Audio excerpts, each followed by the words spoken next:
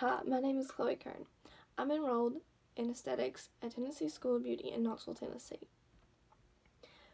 For as long as I can remember, I've always loved makeup, but the one defining moment that really kick-started my love and passion for makeup was when I met my best friends, Hunter and Kira. I met them one summer at a governor's school, and they we all loved makeup. We all loved doing makeup, but us being together and doing makeup really kick-started all of our love for makeup, I think, and just really um, where it all began for me, I think. For the scholarship, I got my friend Elizabeth to be my model.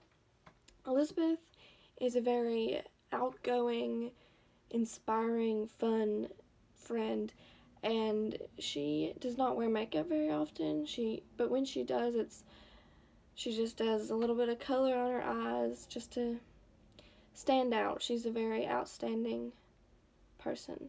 She's very kind. And Lizzie D.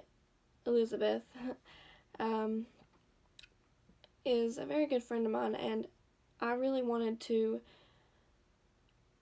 give back to her for being a good friend to me by giving her some confidence. And I love doing her makeup. She's always cracking jokes. And I just really had fun. I'll let the pictures speak for themselves.